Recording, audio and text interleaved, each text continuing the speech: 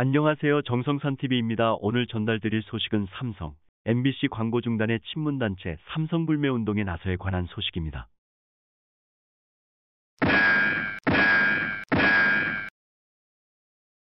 소식에 앞서 해당 기사에 대한 네티즌들은 삼성 불매운동단체 소속자들 모두 집에 삼성 제품 내놓고 그런 소리 그런 짓 하거라. 삼성 제품 하나도 안 쓰는지 확인해보자. 나라가 정말 소란스럽습니다. 대한민국이요. 어디로 가렵니까? 하느님, 이 나라를 굽어 살펴주소서. MBC에 광고 주는 기업들은 정신 좀 차려라. 대통령과 불편한 관계로만 파악하지 말고 공영방송인 MBC의 방송 행태를 보고 판단해라. 완전 편파 방송으로 국가를 위험에 빠뜨리는 방송사에 왜 돈줄을 자처하나?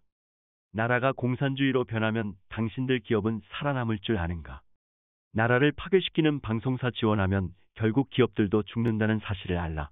너네들이 하는 짓은 없어져야 할 방송사가 맞다. 언론의 기본인 공정을 잃어버린 방송이 무슨. 국민들이 등 돌린 지가 언제인데 말도 안 되는 탄압 타령. 너네 언론인이라는 탈수고 권력 휘두르듯이 혼란 부추기는 건 뭔데? 라는 MBC에 대한 부정적인 반응을 보이고 있습니다. 그럼 본 소식에 들어가 보도록 하겠습니다. 최근 벌어지고 있는 윤석열 대통령실과 MBC 간에 벌어지고 있는 MBC 사태와 관련해 한 친문단체가 삼성그룹이 최근 MBC에 대한 광고를 끊었다며 삼성 제품에 대한 불매운동에 나서 관심을 끌고 있다. 22일 친문 성향의 페이스북 모임인 유시민과 더불어 세상을 읽어주는 모임이라는 커뮤니티에는 3일 전에 올라온 삼성 제품 불매운동 관련 글이 큰 호응을 얻고 있다. 이 글의 작성자는 MBC의 광고를 끄는 삼성은 윤석열의 X다. 국민은 삼성 불매운동으로 응징해야 한다. 애국기업 LG를 밀어주자. 라며 삼성 제품 불매운동을 제안했다. 22일 오전까지 이 글은 수백 개의 댓글이 달하는 등 호응을 얻고 있다. 문제의 모임은 22일 현재 회원수가 15만 명에 달하는 대규모 온라인 커뮤니티다. 왜곡 편파 보도를 둘러싼 윤석열 대통령실과 MBC 간의 갈등은 윤석열 대통령이 취임 후 줄곧 해오던 출근길 약식 회견, 도어 스태핑까지 중단되는 등 악화일로를 걷고 있다. 하지만 아직까지 삼성과 SK, 현대차 등 MBC의 주요 광고주인 대기업들의 MBC 광고 중단으로까지 이어지지는 않은 상태다. 그럼에도 불구하고 이 같은 가짜뉴스가 나돌게 된 것은 지난 17일 국민의힘 비상대책위원인 김상훈 의원이 MBC 광고기업 제품 불매운동을 거론한 것이 와전된 때문으로 보인다. 김상훈 의원은 당시 국민의힘 비대위원 회의에서 많은 대기업이 MBC 초대형 광고주로서 물줄을 자임하고 있다며 특히 모 대기업은 수십 년간 메인 뉴스에 15 광고를 몰아주고 있으며 MBC 주요 프로그램에 광고비를 대고 있다고 말했다. 김상훈 의원은 또 MBC 광고 제품 불매운동에 동참하고 있는 분들은 사회적 기업이자 국민의 기업인 삼성과 여러 기업들이 MBC의 광고로 동력을 제공하는 것을 즉각 중단해야 하며 이는 선택이 아닌 의무라고 역설한다며 공영방송을 자처하고 있는 MBC와 광고주들이 귀를 기울여야 할 대목이라고 주장했다. 이와 관련 언론계 안팎에서는 이번 MBC 사태의 분수령이 될 모멘텀으로 이들 대기업들의 MBC 광고 문제를 꼽고 있다. 실제 MBC에 대한 대통령 전용기 탑승불허 조치 이후 정권 및 대통령의 심기에 민감한 대기업들은 MBC 광고 문제를 놓고 고심하지 않을 수 없는 상황이 됐다. 4대 대기업에 속하는 한 기업의 고위 홍보임원은 9일 다른 언론사와 마찬가지로 MBC 또한 꾸준히 기존 광고의 연장 및 새로운 광고 론칭을 위해 마케팅 부문 관계자들이 꾸준히 접촉해오고 있는데 분위기가 이렇게 되면 기존 광고 연장은 물론 새로운 광고를 주기가 몹시 꺼려지는 상황이라고 말했다. 또 다른 대기업의 홍보 담당 임원 또한 지난번 비속어 파동이 생겼을 때 계열사를 포함해 우리 그룹이 MBC에 집행하는 광고 규모를 파악한 적이 있다. 면서 이번 일로 MBC에 대한 광고 집행에 중대한 변수가 생긴 것은 분명하다고 전했다. 과거 정권과 특정 언론사와 갈등이 생길 경우 청와대 및 국정홍보처 관계자들이 대기업 쪽에 눈치를 주는 등 직간접적으로 영향력을 행사해 광고를 못 주도록 하는 일이 다반사였다. 하지만 이제는 대기업이 스스로 알아서 움직여야만 하는 상황으로 정치 환경이 변했다.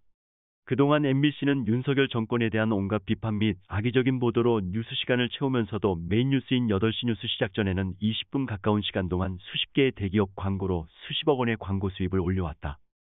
실제 언론단체인 공정언론국민연대는 서초동 삼성 사옥 앞에서 집회를 갖고 MBC의 광고 중단을 하라고 촉구한 바 있다.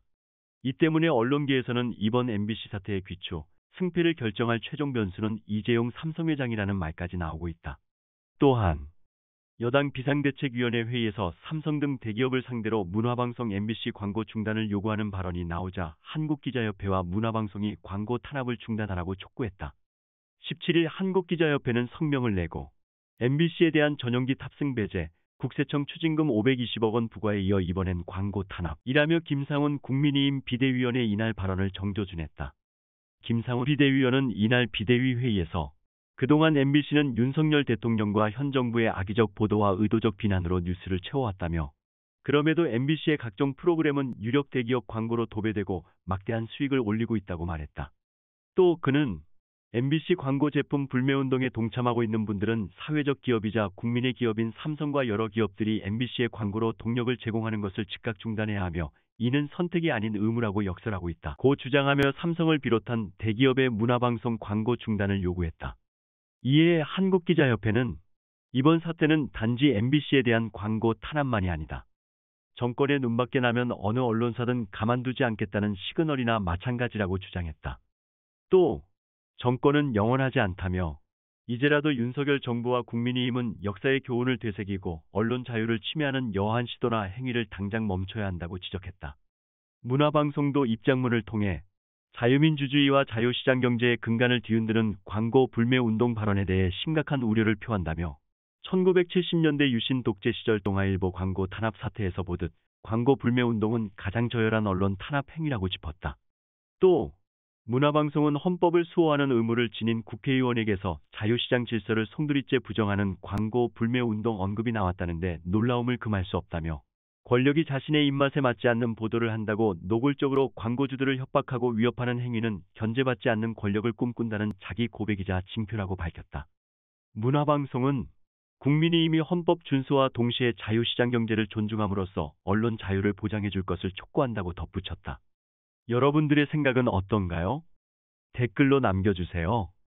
오늘의 소식을 마치도록 하겠습니다. 감사합니다. 정성산TV는 자유민 주주의를 지키겠습니다. 구독과 좋아요, 알림 설정 부탁드립니다. 감사합니다.